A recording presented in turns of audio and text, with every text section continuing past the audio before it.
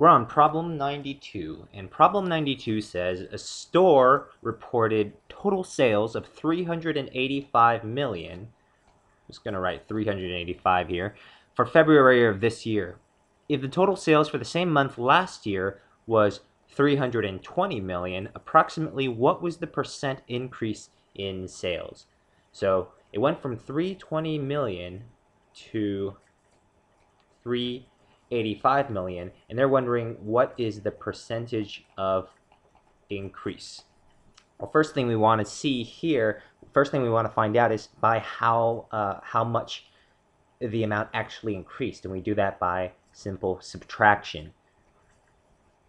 And uh, we find that from last year to this year, it increased by 65 million. So then what we do is we take that increase and we put it over the original amount. We set a ratio to find the percentage of increase. Let's get rid of the zero and we get x equals 650 over 32. So far so good. Uh, if we actually then do the division, what ends up happening is we get 32 over 650 two times 0 point something something something. Um, the question says approximately what was the percentage increase. And if you look on the answer choices, they give you 2%, 17%, 20%, 65%. So the only one that's close to whatever this decimal would actually be is answer choice C, which is 20%. On to problem 93, which says if the median of the numbers in list 1 is equal to the median of the numbers in list 2, what is the value of x? So x is what? And here are the lists. List 1, list 2, you have 3, 6, 8, and 19.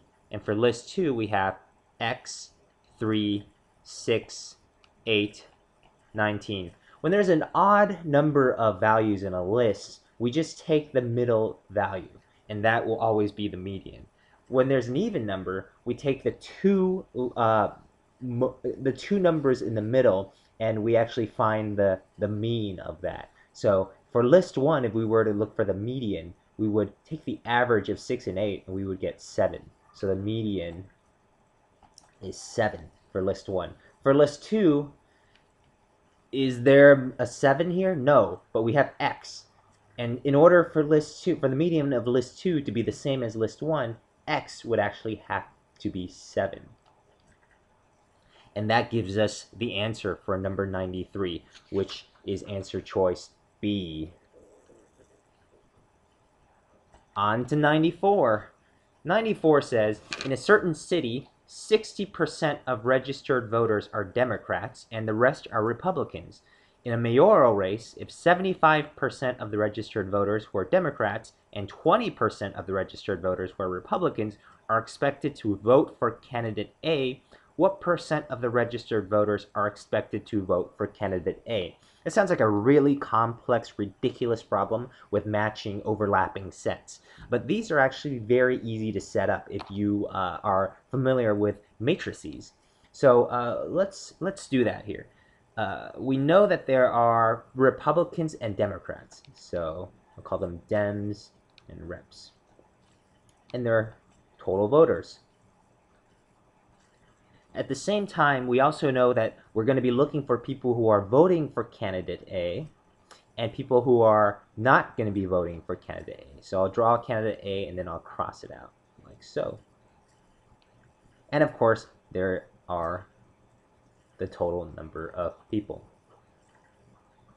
So the way we solve this is uh, we know that we're looking for percentages. And whenever we're looking for percentages, it's always good to pretend that the total amount of people, or the total number of people, is 100 because it's a big number that we can use to just plug in the percentages immediately.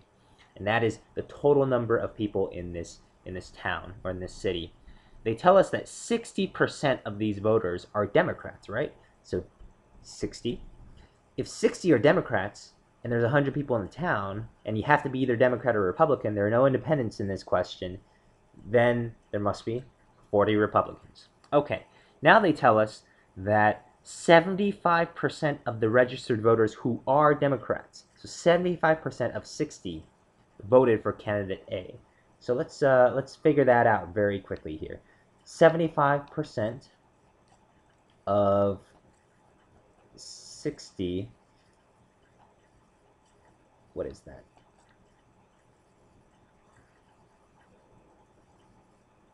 That is 45. So 45% of the people in the town are going to be are Democrats and are going to be voting for candidate A. The problem also tells us that let's see 20% of the registered voters who are Republican, so 20% who are Republican are going to be voting for candidate A. So 20% over of 40, that is, we cancel out the zeros, going to be 8. So 4, or X is going to be 8. So 8 Republicans are going to be voting for candidate A. Now we just add these two.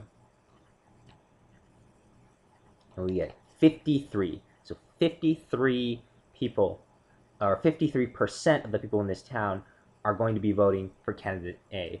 And that is also what we're looking for. It says what percentage of the registered voters are going to be voting for candidate A, and 53 is answer choice B.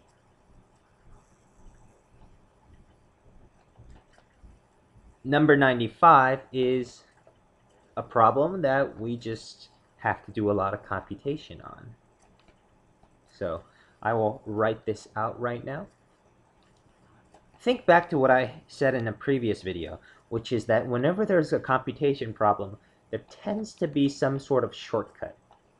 In this case, it's a shortcut, but it's a very obvious one. You just cancel out the threes, and you divide, cross divide. And you get 1 4 divided by 4 means multiplied by uh, 1 fourth. And now it's a lot easier to solve.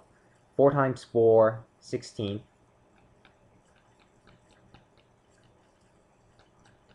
Two goes into 16 eight times, so that's the same as saying 8 over 16.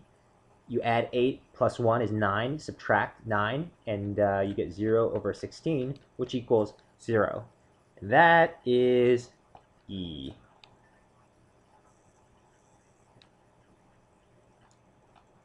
Number 96, water consists of hydrogen and oxygen to the approximate ratio of 2 over 16. So we have hydrogen, and oxygen, and that ratio is 2 over 16. All right. Well, let's simplify this. 1 over 8. So the ratio is 1 over 8. Okay. Approximately how many grams of oxygen are there in 144 grams of water? So they tell us that total is 144. We uh, will simply need to use the multiplier method to solve this simple ratio problem. So 144 equals 1x plus 8x. And that's 9x equals 144. Remember what we're solving for, though. We're going to be solving for uh, the grams of, of oxygen, so we're going to be looking for 8x. Let me write that here so that we don't forget. That's going to be what our answer is. Anyway, let's continue solving. x is going to be 9 into 144. One time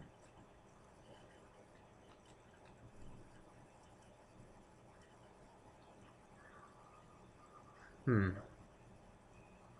Let's see. What is that? Okay, so it goes into 144. One time.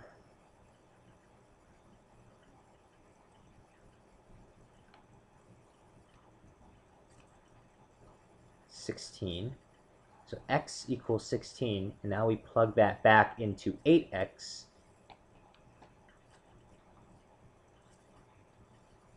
and you get 128.